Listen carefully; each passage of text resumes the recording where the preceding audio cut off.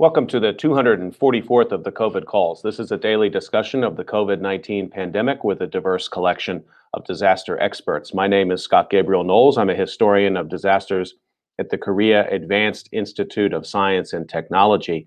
I'm coming to you live from Daejeon, South Korea. Today is a discussion of astrobiology, big science, and the pandemic with astronomer Lucianne Walkowicz. Just a reminder, you can catch COVID Calls live at its new time, weekdays at 5.30 p.m. Eastern Time on YouTube. Just go to the COVID Calls YouTube channel to watch. Friday episodes will soon be moving to Korea time, and I'll keep you posted about those episodes. And you can also watch COVID Calls on Facebook Live, Twitch, and Periscope.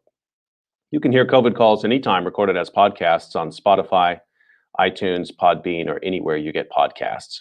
You can also keep up with COVID calls via Twitter using the handle at US of Disaster or at COVID calls. Please help spread the word and send suggestions for future guests and future topics, and please feel free to suggest yourself as a future guest.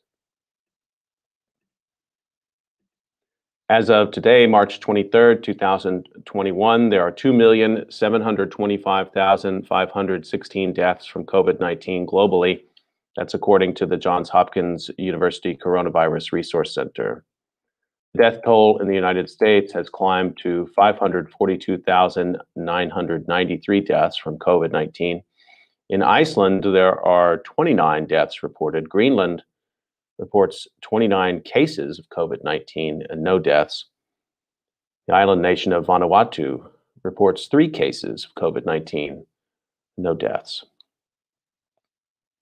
As a way to bring some humanity to the numbers, I've been reading a life story or a story of advocacy for those impacted by the pandemic in some way, and I'd like to continue that now.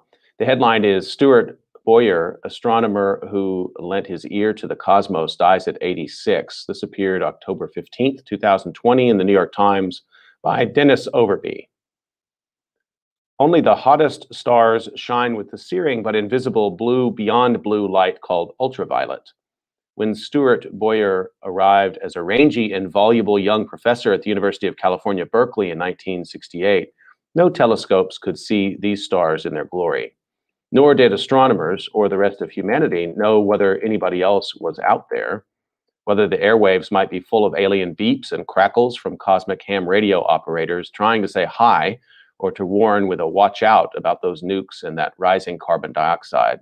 Dr. Bowyer devoted his career to closing the cognitive gap on both counts. At Berkeley, he led teams that sent instruments into space on balloons, sounding rockets, the space shuttle, and finally his own satellite to reveal more than a thousand stars, galaxies, and raging gas clouds illuminating the cosmos in a new color. On the ground, he also pioneered the search for signals from extraterrestrial civilizations. If they were there, building Berkeley into a world center in the search for extraterrestrial intelligence, or SETI. Dr. Bowyer died on August, uh, excuse me, Dr. Bowyer died on September 23rd at his home in Orinda, California. He was 86. The university said the cause was complications of COVID 19. His former colleagues described Dr. Bowyer as bigger than life, both in size and in spirit, a brash man you either loved or hated. He put his whole body and soul into things, said Dan Wertheimer, the Marilyn and Watson Alberts Chair and Chief Scientist at the Berkeley SETI Research Center. Dr. Wertheimer recalled that Dr. Bowyer and his wife, Janet Jane Baker Bowyer, an education professor at nearby Mills College, had cultivated a Japanese garden in their backyard, the most serene place you could imagine. And they also attended Burning Man. Dr. Bowyer made his biggest mark with his ultraviolet studies of the universe. Ultraviolet rays with wavelengths shorter than visible light and longer than X rays are not only invisible to the eye, the more extreme short wavelength kind are difficult to focus with conventional optics. But many important astrophysical and atomic processes involving hydrogen, abundant element in the universe and in stars, give off ultraviolet light. Dr. Bowyer's effort to extend astronomy into the missing ultraviolet zone was resisted at first. The atmosphere absorbs ultraviolet rays before they hit the ground, preventing humans from seeing the hottest stars and blazing plasmas. A view from space was required, Dr. Bowyer argued, but many astronomers thought there would still be nothing to see. The thin gas that pervades interstellar space would absorb all the ultraviolet light, they said. But Dr. Bowyer persisted, and he proved they were wrong. A sensor that he and his team mounted on the Apollo Soyuz, a joint US Soviet mission in 1975, detected extreme ultraviolet radiation from some dead stars known as hot white dwarfs and an exploding star called a nova.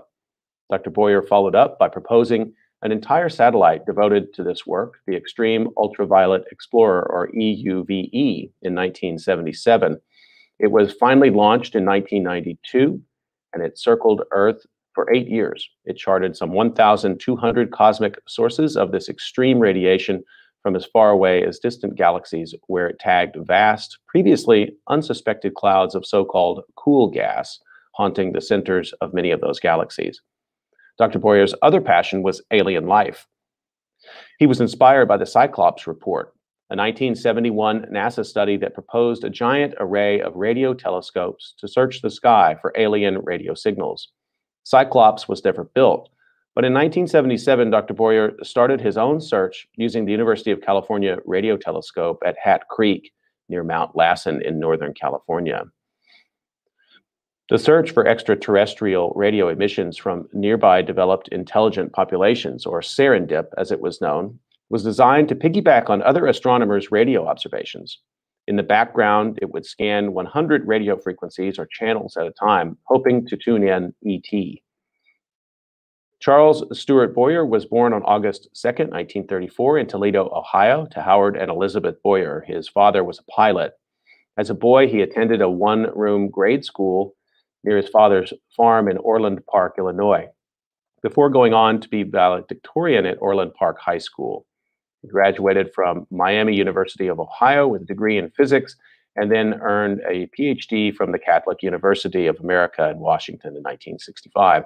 Dr. Bowyer landed in the Berkeley Astronomy Department and the Space Sciences Laboratory. He made the department into a booming center for space astronomy and the search for extraterrestrial intelligence. At his peak, he had some 150 scientists and engineers working for him on various space projects. Dr. Bowyer retired as a professor in 1994, but continued doing research as the director of the Center for Extreme Ultraviolet Astrophysics at Berkeley.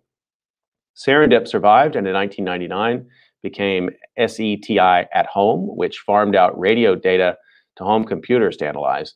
The University of California now serves as headquarters for the biggest search for cosmic greetings yet, the $100 million Breakthrough Listen effort. Dr. Bowyer is survived by his wife, two sons, William and Robert, a daughter, Elizabeth, and five grandchildren. SETI at Home took a break earlier this year to analyze all its data, but the search goes on.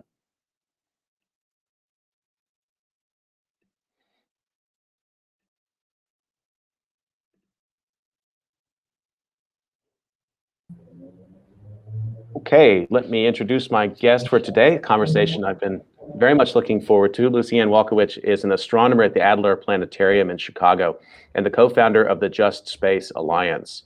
Walkowicz studies the ethics of Mars exploration, stellar magnetic activity, how stars influence a planet's suitability as a host for alien life, and how to use advanced computing to discover unusual events in large astronomical data sets. From 2017 to 2018, they were the Baruch S. Blumberg NASA Library of Congress Chair in Astrobiology, Library of Congress. Walkowicz is the founding director of the LSSTC Data Science Fellowship Program, an initiative to provide astronomy graduate students with training in advanced computing.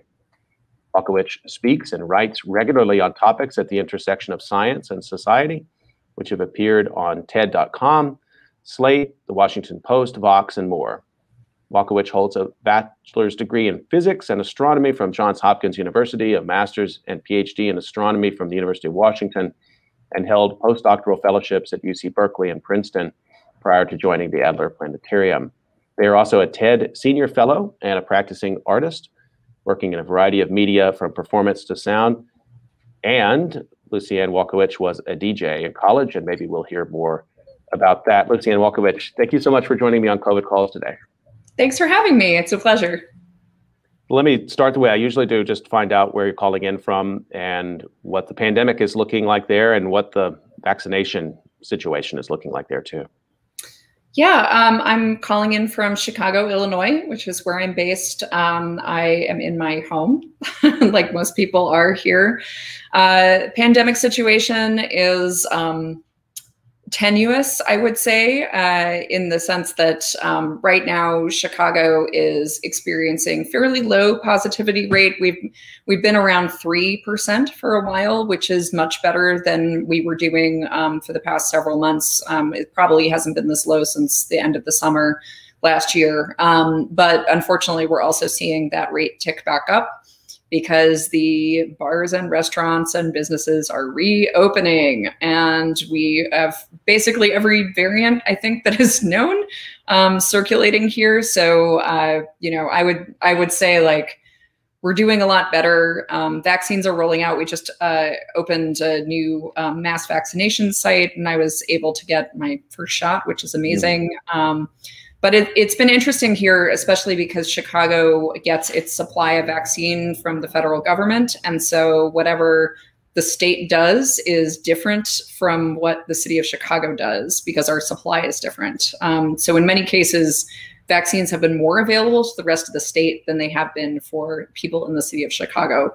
Um, so yeah, we're all kind of, you know, plodding along, hoping to get everybody vaccinated before we end up with whatever wave we're on now. I feel like uh, just because of the pace of the pandemic, that um, San Francisco and New York got so much of the early media oxygen around, you know, in the early days. And I haven't talked to that many guests from Chicago. Maybe you can say just a little bit about what kind of March, April, and May of of last year was like. Was it similar to to New York and other places? I mean, it must have been quiet, closed, and, and uncanny to see a city like Chicago kind of come to a, a screeching halt. Yeah, certainly. Um, we sort of, I, I, think citywide, we locked down um, around the middle of March last year, um, uh, around March 13th or so. And, um, you know, I think it, it's been, um, I think, very curious to see sort of our city government the state government and the federal government to try to navigate understanding what to do when. Um, and you know, one of the things that I I think I personally find frustrating, probably because I'm a scientist and I sit and stare at all the like facts and figures and all of those graphs on the like COVID city dashboard. Um, you know, I've been poring over them now for a solid year, and uh, you know, we've moved through these various phases of uh, things being like completely closed, and now, of course, daily rates for infection are like much worse than they were when the city was completely closed, but things are open. Um, so it's uh, you know, and I, I don't think um, the things we know about transmission have changed that much since we had more strict closures. Um, and yeah, I I would say, you know, in Chicago, much like a lot of places, uh, it has been um, stunning to see the lengths that our governance will go through to make sure that capitalism can keep rolling um, while people get sick and die. Not to put too fine a point on it. No, I think that's the blunt kind of language we absolutely need. How else can you understand why, even in states uh, where the governance around the pandemic was pretty good, uh, last year, all of a sudden they seem to be throwing caution to the wind to to reopen. I wonder what was the vibe at the vaccination center. Um, it reminded me a lot of the movie Arrival, mm. um, just because in Arrival, you know, you you see lots of people moving through various like FEMA tents. Um, so uh, the vaccination center is in our like major sports center, but it's not in the center itself. It's um it's in these various tents outside, and it's actually one of the more organized experiences I've had.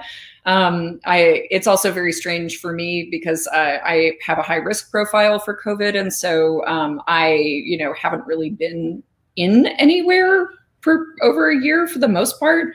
Um, so it's more people than I've been around for a little while, but actually it was very well organized. Um, kind of right up until the very end where they put you in like the room where you are supposed to wait and see if you have an allergic reaction where we're just like, we're here now and like nobody told us what to do.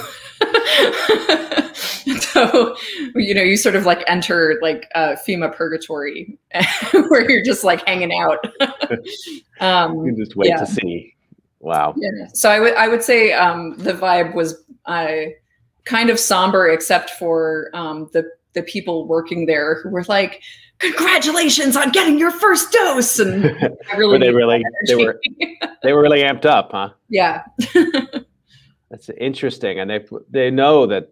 I mean, this vaccination process has had so many fits and starts, and people are anxious about this medicine. I'm not surprised that maybe they they feel they need to be a bit of a pep squad, I suppose, in that regard. Yeah, for sure. You know, and like Chicago, you know, I think um, we are a city that is predominantly not white. You know, like the majority of Chicagoans are Black and Latinx, and um, like there is very reasonable uh, suspicion of, especially like anything the government does, but also because of a long history of medical racism, there's a lot of like caution, I would say, around, um, you know, getting vaccinated and, uh, you know, also there has been like tremendously, uh, tremendously confusing guidance.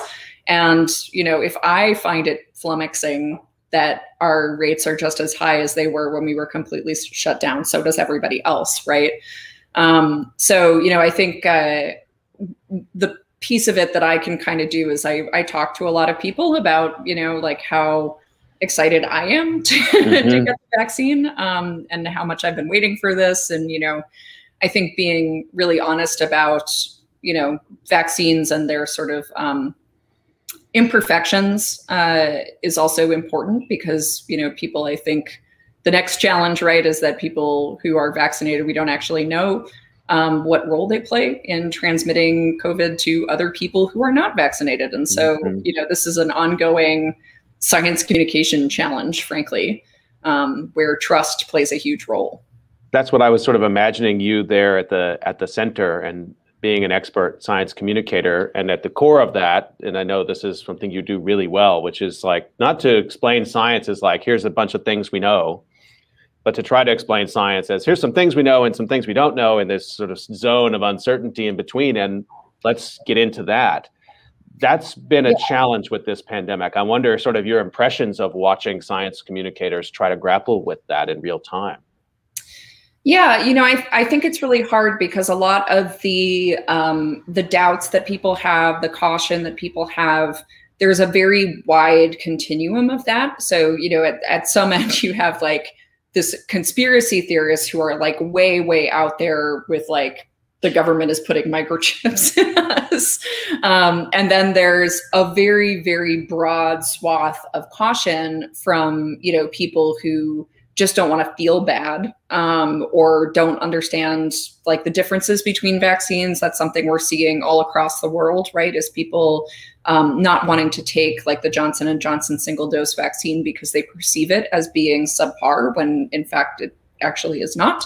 Um, and so you know i think that the challenge for all science communicators like always not just in the pandemic is that all the research on science communication tells us that it's actually like not a matter of distributing facts to people especially over controversial issues. You know like we we see this with like climate change for example that the thing that makes people willing to receive and process new information is usually a personal connection with the person they're talking to and so that means that as a scientist, you know, no matter what you're talking about, but particularly things that are tied to people's worldviews, if you are going in and just sort of dropping off the facts, often people who don't believe in climate change have all of the same facts. They've just incorporated that information mm-hmm. into the frame of their worldview in a different way that you have, um, which seems, I think, unthinkable and also ex is extremely frustrating for a lot of scientists. Um, particularly those who haven't really like thought about the fact that there's literature on like what works and what doesn't in science communication. And you know scientists like we're convinced by facts but that's also a function of our worldview and our training right? Um, and so it's it's a very sticky challenge particularly because normally um, you know when you talk about controversial things climate change does have a death toll associated with it. It just has a very slow progression. Mm -hmm. And with COVID, that's not the case. And so it, it I think, exacerbates scientists' feeling of frustration and then also like people's feeling of frustrations with scientists yelling at them and just yeah. shouting facts. And and you know i get it on both sides. Like i also feel like shouting at people too. Let, us go a little further with this. I, I want to sort of ask you more generally about your work but just since we started on the science communication piece that um, you know so much of what's going on right now of course if people are wondering and getting up to speed on microorganisms. Um, so you're right with sort of shared facts and and data visualization has come a long way. I do think there's a lot of sort of public health information people can get to quickly on their phones or on their computers. But you know what's happening at the bench level is still pretty mysterious to most people, in part because not everybody's invited in at the bench level, and also because what's happening involves um, very specific techniques and modes of seeing. And I, I was thinking about that in preparation for this call. And of course, that's the world you're in too. I mean, people can conjure a picture of a planetarium or, or telescope um, or the night sky and their experience with stars, but you have to serve in this very curious translation role because you, you know how to see see um, things and then translate that to people um, who are not seeing those things. And so I've thought about that symmetry a little bit between your work and you know what sort of microbiologists might be doing at this time. It really puts a special emphasis on what you were saying before, this kind of like reaching a, a point of trust maybe with the public or a shared curiosity. I just want to draw you out a little bit more on that, on how you develop rapport with an audience. Yeah, um, I think it's challenging, right? Because I much in the way that um, you know, you you mentioned telescopes, for example. Like people do have an image of what like an astronomer looking in through a telescope looks like, but also that image is not right. like most people imagine that I work at night, that I like look through some like long tube and that I use yeah. my eyeball to like look at the cosmos. And that's actually like universally not true. Um, like Normally, I actually work during the day and I download data from telescopes that are in space that I have no ability to put my eyeball up to. You know, and I work with my laptop. A lot of what I do looks like computer programming, not at all mm-hmm. like what people imagine. And so I'm sure that there's symmetry there, and that what I imagine a microbiologist doing, I'm sure is like totally wrong. You know, I have this like high school biology picture yeah. in my mind or like csi actually has been instrumental actually in getting a lot of people sure. into like yeah. the biological sciences yeah. you know and you imagine like slides and like a microscope and i'm sure like there are aspects that resemble that and that like most of it doesn't right, right. um and so i think uh it it's it's an interesting thought because you know i think a lot of what matters to people in the way they attach to um, information is is emotional content not like factual content. And it's not necessarily having insight into how it works. Um, you know the uh, like why do we use cell phones? Like i can't i can tell you probably at a very very basic level what the cell phone is doing but I can't explain to you how my cell phone works in detail. Like I didn't build the cell phone and I don't work on cell phones. So, you know, like what do I know about? Well, I know what it feels like to use my cell phone. Um, I know the things that the cell phone makes possible for me. Um, and so, you know, I think it can be helpful to share the process of science with people, but in some sense, people's uh, willingness to incorporate that information or to believe you as a scientist or to trust you um, however you want to frame it is also kind of separated from the technology itself. So i think it can be helpful to unpack how it works um, in part because that gives insight into the sort of realm of like things that we're like pretty sure are happening things that are what we call open questions um, where we don't know what's going on, and then like things we have like kind of a good idea about, but like would like some more information. Mm-hmm, and mm-hmm. you know, in any science, there's a there's a big like range of where knowledge of a particular topic is, like not just astronomy as a whole, but like you know how life forms. Like we know lots of things about like life on Earth, but we don't know anything about life off of Earth because we've never found it and we don't even know really how life on earth got started. We know once it once it was around what it did um, and it did all kinds of crazy things you know like my favorite biology thing that i have learned in the past several years is that whales evolved into land mammals and then got back in the ocean and evolved back into whales. So, you know, um, but I, I, I think it's um, it's a complicated thing to try and understand like what will help people attach. And so, you know, generally what I like to do is I like to talk with people and find out kind of where they're at and what their questions are. It's it's a, thank you for talking about that in detail because I really think we've seen this year, particularly this past year with the pandemic, um, the challenges of that. And and I've been thinking about science training and wondering, you know, if science programs, broadly speaking, graduate programs and are going to be spending more time on that side of things, on the communication side of things, because it's been a life and death issue in the United States, and not only in the United States in, in that regard. I, I want to ask you a little. So you're an astronomer and you're an astrobiologist. So I'm just going to ask you a blunt question. Why do you care to know if there's life off of Earth? Why does that matter to you? You know, I think it matters to me um, and to sort of our understanding of, of life in general, uh, in that we really only have one example of a place in the universe in which life we know that life has like arisen, uh, arisen evolved and exists today right? And it's planet earth.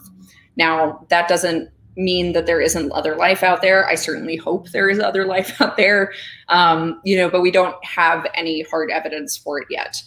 And to me one of the one of the great mysteries um, of you know, I think that one can wonder about is like, where did life come from and how did we get all of these life forms that exist on this planet?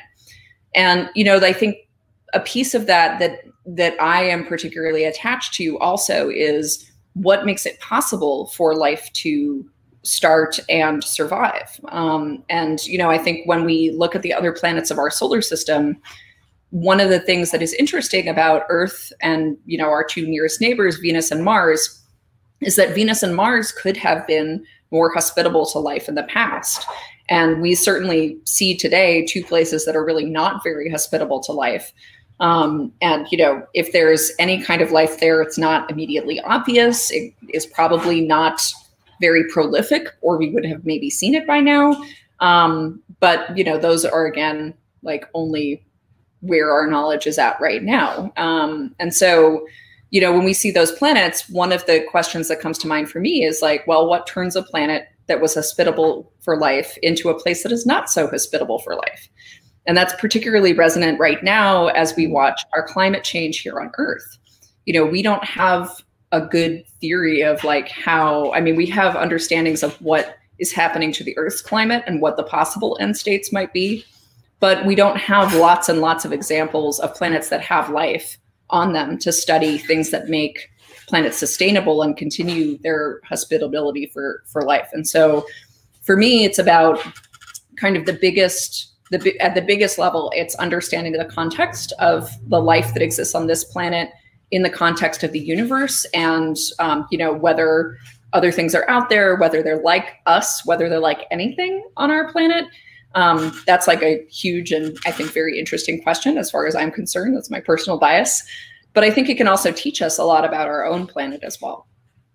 There's so many fascinating things in there. And and even as you're describing that, I can imagine there's different populations of people who latch on to one or another set of of those reasons. I mean, let's talk about Mars for a second. NASA has been back in the news in the middle of this pandemic, and I think that was maybe good for a lot of people uh, to take their minds off of the turmoil here on planet Earth to think a little bit about space exploration again. But the minute you start talking about Mars and this, the Perseverance rover, for example, it opens up all these different questions. It's it's well, is possible that it's cosmological questions. Was there life somewhere else? What does that do for the way I think about my place in the universe?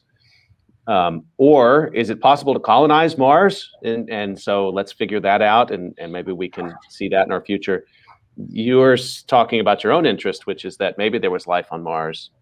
Something happened uh, here that made it inhospitable. Maybe break those down a little bit. And I'm curious your take, particularly on the let's go and colonize Mars uh, angle. What do you have to say to those who think this is opening up a sort of new age of exploration. Uh, some people have even used the metaphor of the sort of the Columbus, you know, Columbus off of planet Earth. And it's probably, I, I see, I know it's problematic. but I, I, was sort of curious how you take that in, because again, as a person who probably doesn't want to, if anybody's interested to know, you don't want to necessarily dismiss them, but how do you turn those conversations into more productive conversations? Sure. Yeah. Um, well, let's start a little bit with um, this sort of like where is Mars now versus where it was Mars in the past from a climate standpoint. Mm-hmm. So, you know, today we see a Mars that is um, very cold. Uh, it has a very thin atmosphere. So, you know, part of what makes Earth like a nice, cozy place for at least human life and the other life forms that thrive here is that we get a certain amount of light from our sun, keeps us nice and warm, but it's actually our atmosphere that is kind of like the blanket, your your comforter on your bed, right? It's not just the temperature in the room that you care about, it's how thick is your blanket. So in the case of Mars, um, we think that in the past, Mars had a thicker atmosphere that would have made it possible for Mars to be warmer.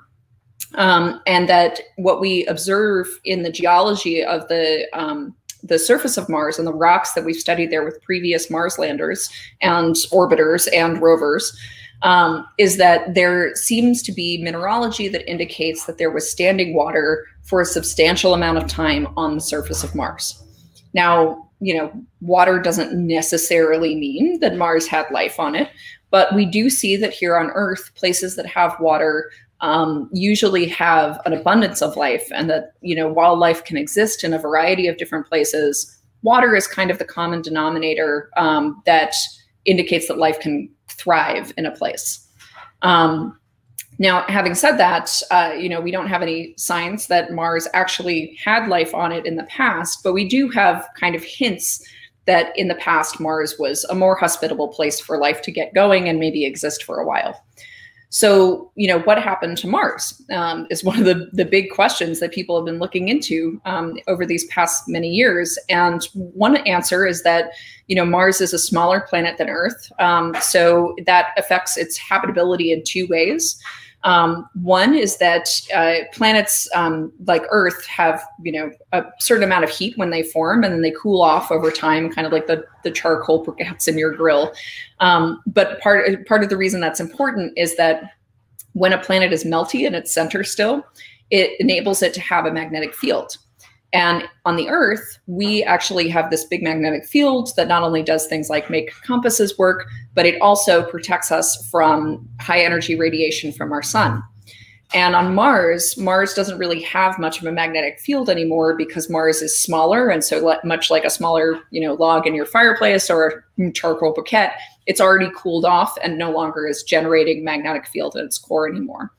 So that means that the um, atmosphere of Mars has been exposed to erosion from the radiation of the sun.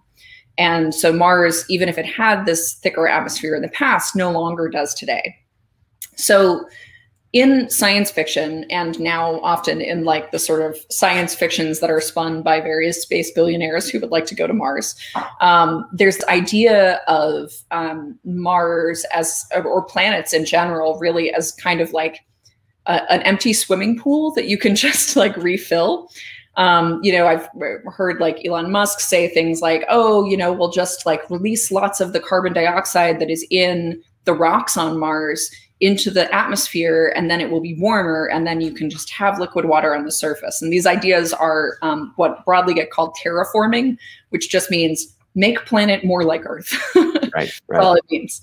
Um, and that idea has been around in science fiction for a very long time. Um, but when you look into the details of it, uh, in order to do something like that to Mars to the point where it was warm enough to have liquid water on the surface, you'd basically have to strip mine the entire planet. Um, and then also, that doesn't fix the fact that Mars is very, very dry. So you could pour, you know, you could refill the swimming pool, but it's just going to evaporate into the air because it's super not humid. Um, and so when you dig into these ideas about like making other worlds hospitable to human life, a lot of times, you know, just below the thinnest veneer are these ideas that make actually places less hospitable to human life. Another big one was um, we're going to, uh, this was another Elon Muskism, um, we're going to set off nuclear weapons over the polar caps of Mars and like melt the ice. It's like, okay, and then what? Yeah. Um, right. So you know, there's these all of these ideas out there. Um, I think a lot of them. It, it's interesting if you again dig into the motivations um, for things like that. So you know, take the idea of like humans going to Mars. A lot of people couch that in terms of sort of like existential risk and need. Um, the idea that like, well, Earth will be inhospitable, and so we must go move to Mars. Mm-hmm. Let me tell you, Mars is like on its best day, far worse than the worst place on Earth. Um, my friend Shannon Stirone, who's a science writer, just recently wrote a, an article called Mars is a Hellhole, which I think puts it very succinctly. Mars is a hellhole compared to the many ways in which um, our planet here is hospitable to life. Now, that doesn't mean that humans couldn't go and you know make some kind of a structure in which they could live. Um, you know it, it isn't that like aspects of being there in the same way that like humans were able to go and visit the moon right? The moon is also not a place that is super hospitable to life. So it isn't that people couldn't go there.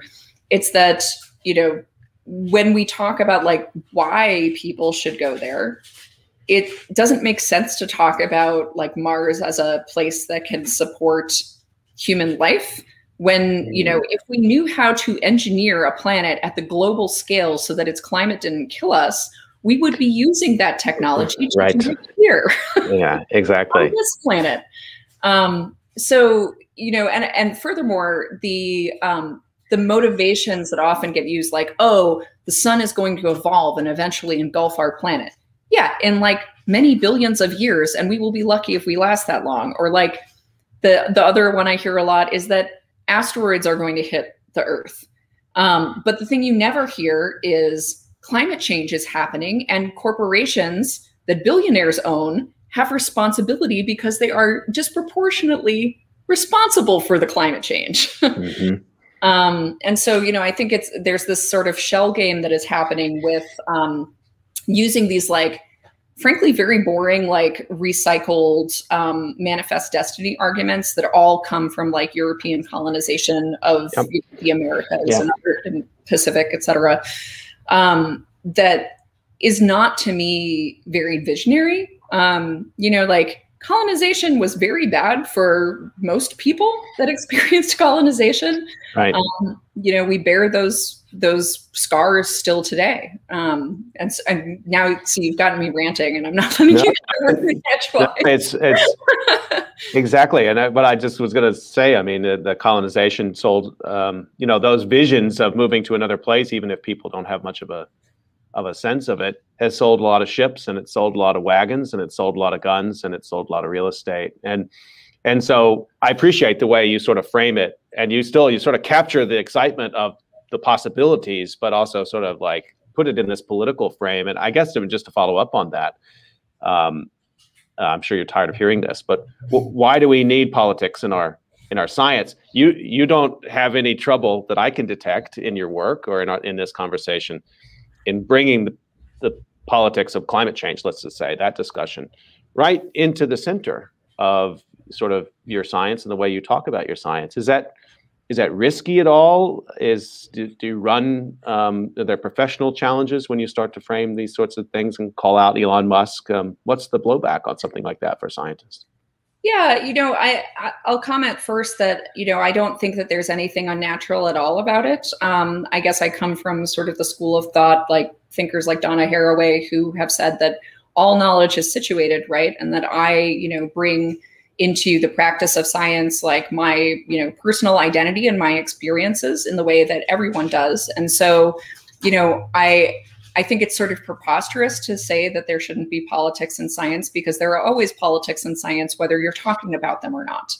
Now certain aspects of that um, you know are i think often the idea of politics in science is weaponized to mean that you know like science just doesn't mean anything or like that the methodologies are totally twistable into um, you know every which way and that there's no sort of like ground truths but i think that that is that's not what i mean right? That the um, the methodologies of science aren't you know necessarily changeable because of politics. But ultimately at the end you have data and you need to interpret it. And there are many examples from the history of science. You know for example, uh, example like the idea of the alpha male comes from like some very convoluted animal behavioral studies um, that were very much informed by the practitioners who were making them and then taking like animal models and applying them sort of needlessly to human beings. Mm-hmm. And now mm-hmm. we have like an entire pickup artist industry that is like built around the idea of something that doesn't actually exist. Um, so, you know, I think the the practice of science always involves the situations that are around us um, and who we are. You know, we always see the world as as the people we are. Now, I think um, you know, in terms of blowback, um, I think you know there's there's certainly I would say a very strong um, thread of like angry men on the internet who don't really want to hear um, anything about you know uh, how like science might be informed by you know a person's like world experiences. Um, you know in general people that i think like white supremacy culture um, you know and sexism have worked out well for whether they espouse those views or not often don't want to have their experience is questioned because they, of course, don't want to be told they might have gotten something because of who they are and not because of their merit. And that's, you know, when we get into this sort of idea of there being like a pure meritocracy. Um, you know, and I, I think like this is uh, an ideological battle that is that is like unfolding before us um, in a wide variety of spheres, and science is not alone in that, right? Um, you know, I will say that uh, something that I think is related to internet culture specifically is that there are fandoms that are very, um, very uh, interested in abusing and harassing people who bring any kind of critique to the people that they're fans of. And unfortunately, a lot of followers of Elon Musk are exactly like that. Um, you know, I've known a lot of people uh, who, you know, are gender minorities in science or people of color who, you know, can't use their social media for a while um, because they said something bad about Elon Musk. And, you know, I think the the thing is, is that, and and a lot of this is that this like new era of like new space um, private industry being interested in going to space very much comes out of the culture of Silicon Valley, which is very like techno optimistic. And that um, one of the things that I found to be hugely valuable for me as a scientist and a person is constructive critique. And there's a, a strong sort of ideological core of techno optimism that doesn't receive critique well and is not interested in receiving critique well. Um, and I think that's a shame because I would love for us to go to space. I just want us to do it well. And I don't think there's anything worthwhile about European colonization to continue out beyond this planet. I think that was like we did that experiment already and it went very badly. Um, you know, like it it really like ruined a lot of things and killed a lot of people and continues to damage people's lives today. I mean, as you say that, I, I can't help but think you're exactly the right that that we that the science that you're doing without the politics could be very dangerous really. And I guess I want to sort of ask you a little bit more about the, kind of um, the exploration um, beyond our solar system that is exciting to you. You know, and and people can find your work. Um, if they can understand the scientific papers, I'm sure they can find that, but they can find you communicating more directly with um, non-experts like me in your TED Talks. And you talk about um, really trying to understand what's happening um, with stars and planets that are very far away but again, this question of what are the conditions that could make it possible for life on those planets. So, not engaged in the colonization discourse, but really more in the discovery discourse. Um, say a little bit about that and what sort of role space telescopes play in that too. Yeah, um, you know, a lot of what we've learned over the past several years, um, really the past decade or so, I, I worked on a mission called uh, Kepler, um, which was a space telescope NASA mission that was sent up in uh, 2009 and operated for about 10 years. And, you know, when we were in the you know first days of Kepler, um, there had only been about 400 planets found around other stars, uh, and within a few years of Kepler being up, now there's thousands and thousands and thousands of planets that are known.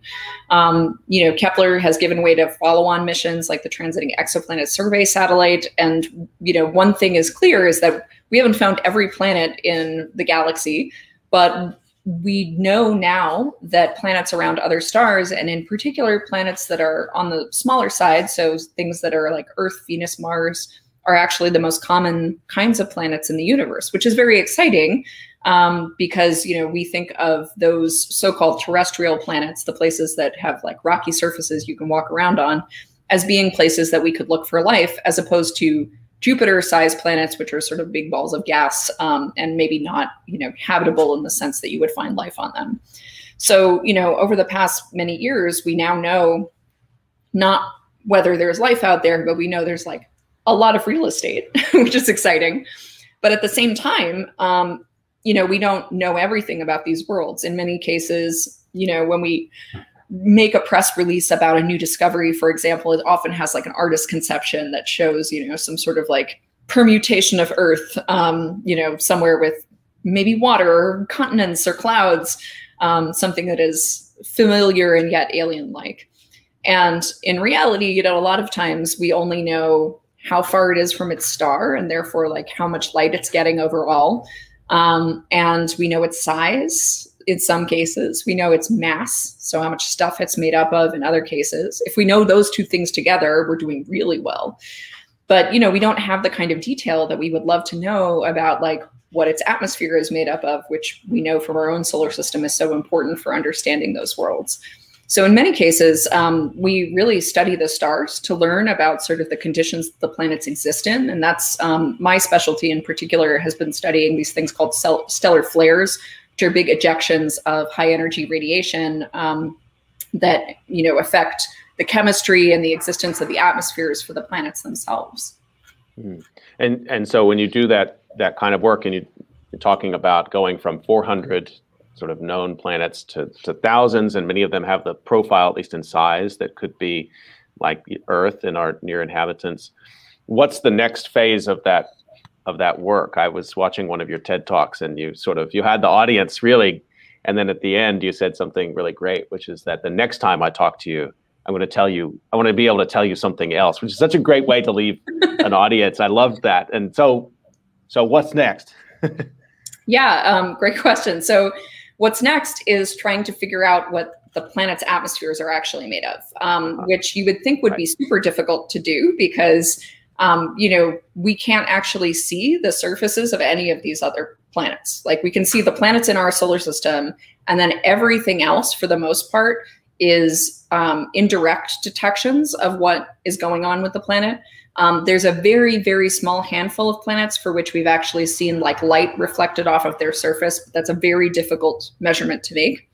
So in the coming years, one of the things that I'm really excited about is that there's a new telescope, a new mission um, that is often framed as like the follow-on to Hubble, you know, this sort of like great observatory. Um, and that's a NASA mission called the JWST or James Webb Space Telescope. And what it will be able to do is look at these planets in what we call infrared light, which is the light that is just beyond sort of the red edge of where the human eye can see. And, you know, in many of these cases where the planet is maybe passing around its parent star and moving in front of it, the light from the star actually shines through the little tiny like annulus of the um, the atmosphere, and we can look at that light and use a special machine called a spectrograph that spreads the light out into its component energies to get essentially a chemical fingerprint of what the atmosphere is made up of. And that's really like the the next sort of big grail is that we really want to understand, you know, do these planets have atmospheres first and foremost? So, you know, we everything that we see about like our earth indicates that like life is better off here because we have an atmosphere. But then also what's that atmosphere made up of? Because life on earth has influenced the chemical makeup of the atmosphere. You know we didn't have a bunch of oxygen on earth until the rise of these um, little cyanobacteria that build these right. um, sort of rocky structures called stromatolites that you can actually see in some beaches on earth and you know so we know that life has had a big influence on the atmosphere here and what people do to prepare is that they make computer models that um, that predict what different kinds of planets with different kinds of life on them might have. Um, and try to make those kind of general predictions so that when we start to get this data from this new telescope, that we'll be able to interpret it. I know that you've had some, um, you've been critical of the name that you use the acronym JWST, the James Webb Space Telescope, and sort of bringing again these explorations back into Earth and back into politics a little bit. Um, what's the basis of your criticism of the naming? Yeah, um, so this particular mission is called James Webb after a former NASA administrator. Um, James Webb was the administrator during the Apollo era.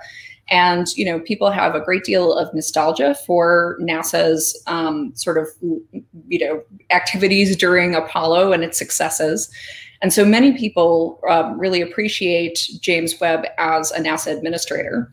Um, but you know, just recently, I, I co-wrote with my colleagues Chanda Prescod Weinstein, um, Sarah Tuttle, and Brian Nord, all of whom are also astronomers for Scientific American, um, that James Webb, prior to being a NASA administrator, was the Undersecretary of State. And specifically, he was the Undersecretary of State during what's called the Lavender Scare, which was the purge of LGBTQ people from the government service, from, from the State Department.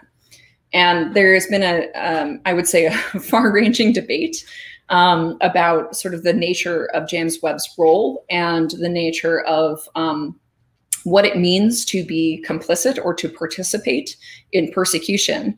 You know the the indications are that he was involved in conversations with underlings who you know ultimately may have carried out the details of the lavender scare. And i think the the debate that is happening within the community right now is that um, you know for like i i and a number of my co-authors on that article are queer people and you know we see this telescope in the in the way that we see the legacy of the hubble space telescope as this possibility to be hugely inspiring. It is a name that will live on in the way that Hubble's name lives on because of the Space Telescope for people who have absolutely no idea who you know Edwin Hubble was. Um, and so, you know, the the question is, you know, in much in the way we see debates over monuments happening over the past year, do we name something um, for someone who's, you know, uh, whose legacy is really complicit at best um, with this persecution that is still, frankly, you know, discrimination against queer people in the sciences continues to impact people's careers. And it also continues to impact the careers of, for example, diplomats or employees at the State Department working at home and abroad. Um, and you know, this past year is actually like a record year for legislation against trans people. And so, you know, when we look at these uh, these issues, there's a tendency, I think, for many people to sort of view this as like, oh, the lavender scare happened in, you know, like the late 40s and early 50s and, you know, through the 50s. And that was so long ago. And then James Webb went out into the Apollo program, leave him alone.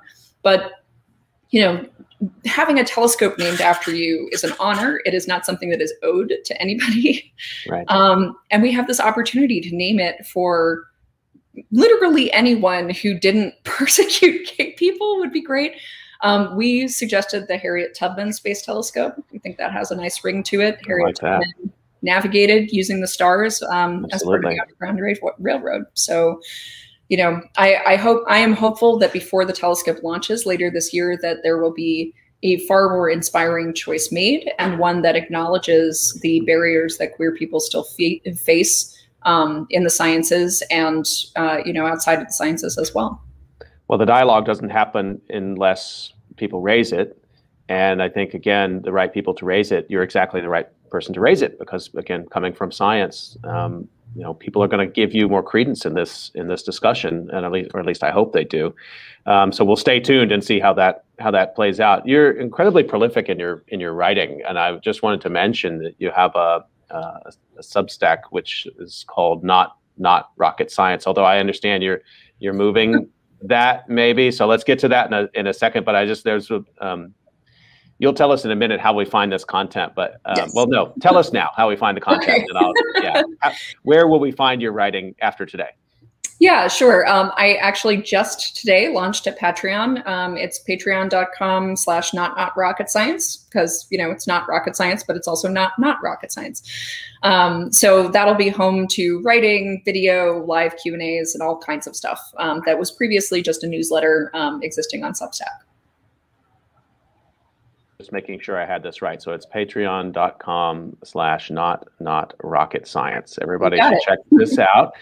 And we'll find there um, some of your writing, which I really like how you're working through ideas in, in your writing. And I just wanted to bring up one of these, which you're sort of musing right around the turn of the new year, this year into 2021, but you were thinking back a year. And what an interesting and important exercise for people to do to think just before pandemic times. But you note in there, I'm just quoting here, astronomers usually have career paths that force us to pull up stakes and move around every few years. And I'm no different, which has been fun in some ways, but also left me with little connection to my local community. And you go on to talk about at that point um, your desire in last year, 2020, to get more engaged in community action um, there in Chicago um, and in struggle for justice uh, and community organizing and mutual aid. And then this pandemic happened. So I wanted to sort of get you to talk a little bit about how it turned out, but also say a little bit more too about kind of your commitments in that in that regard. And after this year we've been through, one could choose so many different domains in American life to try to put your shoulder into it and try to get to some change. What are your commitments right now in that regard? Yeah, um, great question. So I would say that I have a, a, pretty long-standing commitment to making change in a wide variety of ways. Um, you know, it started with in college, like food justice, um, and morphed into since we're we're actually passing the anniversary of the beginning of the Iraq War, and there seems to be some collective amnesia about how many people objected to it. Um, I you know kind of got my my cut my teeth on organizing um, back in the early 2000s around anti-war activism. Um, you know, currently, I would say that the majority of my work um, has been uh, in solidarity with the movement for Black Lives and in solidarity with um, indigenous movements, but specifically um, Kanaka, Maoli, uh, Native Hawaiian uh, objections to the construction of the 30 meter telescope on their unceded homelands. Um, so, you know, I would say that those are kind of my two, my, my two current commitments. Um, you know, but I, uh, in general, have done a lot of organizing with friends who are, you know, fellow scientists who are maybe distributed around at different institutions around the country. And I did have this like, um, you know, New Year's resolution in 2020, a, a foolhardy phrase, if ever there, there was one to think back on now, um, that I really wanted to be more connected to Chicago because I had done, you know, a lot of showing up to movement, you know, actions here, but not any real organizing to speak of. Um, and so I, you know, went to like one transformative justice like book group at the, at the, you know, an institution here. And then um, I, you know, we locked down and I was like, well, now the heck what?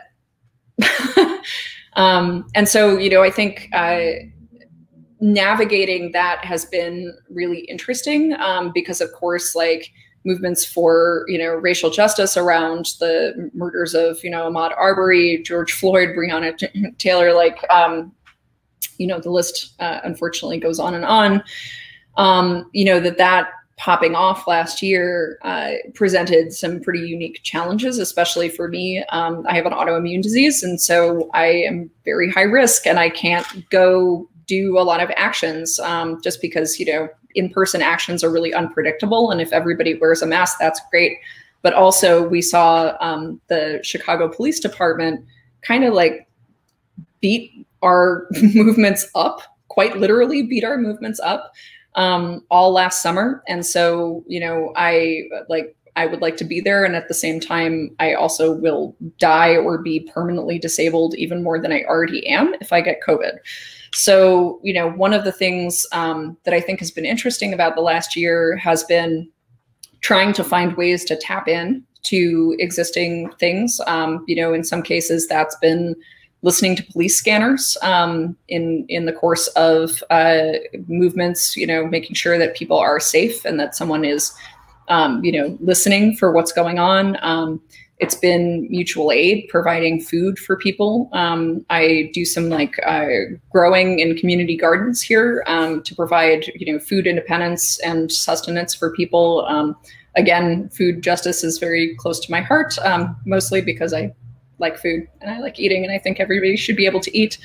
Um, but I, I, I do think that um, the movements of the last year have um, created or or strengthened, I would say, um, a very wide ranging, um, pretty inclusive abolitionist network within um, Chicago. And so, you know, the I worked with the defund CPD campaign, which is our local, um, you know, campaign, much like many cities have to defund the Chicago Police Department. Um, and let me be clear that I mean two zero. Um, and so, you know, one of the things that I've been really gratified by is that in this time um, when our movements are coming together, I would say there's an enhanced focus on disability justice that makes being able to say something like, I'm immunocompromised and I cannot come to this thing in person, an okay thing to say. Mm-hmm. um, because of course, one of the um, one of the things about abolition is that you want to bring your full self um, kind of into the future. We're trying to build a future in which people are acknowledged as full human beings. And part of that means being able to make space in movements, um, not that it's perfect by any means, but being able to make space in movements for people who have different ways that they can contribute and, you know, whose disability may prevent them from contributing in sort of like the classical like picture of an activist like holding a sign or chaining themselves to something. Um, you know, not that I'm not looking forward to being fully vaccinated so I can be a problem again. Well, thank you for, for sharing that. I just want to remind folks that you're listening to COVID Calls, and I'm talking with astronomer, astrobiologist Lucianne Walkowicz today. And we're almost up on time, but I want to, if you'll indulge me, get to just a couple other quick topics. One, um, kind of how we met, um, which was actually around music and around student radio in Baltimore back in the previous century. Um, and you stay very engaged in music and art um, as a consumer, but also as a producer, a person who makes music and art. And I want to just make sure people can find um, some of that work is available um, at your website, tangledfields.com, and you can check out some of the things that you've done there. Um, what's it been like during this pandemic year to be a creator? Complicated. Um, you know, I, I think in some ways, uh, you know, I perhaps thought at the beginning of this, like, aha, so much time at home. yeah, a lot um, of people thought that. Yeah. Yeah. Uh, it turns out it's actually very difficult to like be creative when you're like extremely worried all the time. Um, and when like you're surrounded by death and destruction. I mean, I, I guess that's maybe generative for some people, but for me, it actually made it almost impossible to write for months on end. Um, and you know the the majority of my creative output now is either you know live music um, or performing aerial circus arts which both of which are things that you do in person with other people. Um, so one of the things that's been really frustrating is the loss of our music scene here in chicago you know which is very important to me. Like i most of my friends here i know from playing in bands um, you know, I met my husband because we started a planned uh, band together. Um, you know, so this is really like something that was very much in the fabric of my life in Chicago and then sort of evaporated and hasn't really like been possible at all for a long time. I'm very glad that you know there has been some federal support for venues um, because you know like the venues are really kind of the lifeblood of a lot of the Chicago music scene. Um, and you know that the idea of losing our venues has been like absolutely something that is just in a locked box in my brain that I cannot think about. Um, so you know, I've been happy to see places surviving. Um, but at the same time, you know, like I, uh, so I do aerial silks, which if people don't know what these things are, if you've seen like clips of Cirque du Soleil where somebody's like climbing up some curtains or maybe like hanging from an iron hoop. Mm-hmm. That's the stuff that I do, um, which obviously I cannot do in my house. Um, and so our aerial gym has been, you know, like closed or in like a very, very reduced amount of open um, for the entire year. And that's kind of forced me into other practices like trying to learn like handstands and hand balancing because I can do it in my house.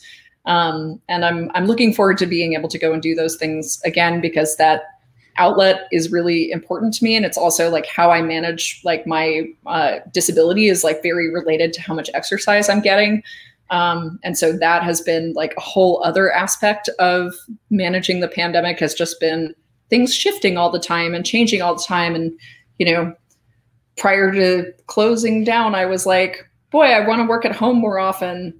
But it was so that I could go and like access the gym more easily, um, yeah. that I would like feel better in my body. And then, you know, this was sort of not the version of working from home that I was hoping for. Yeah. Said everybody ever.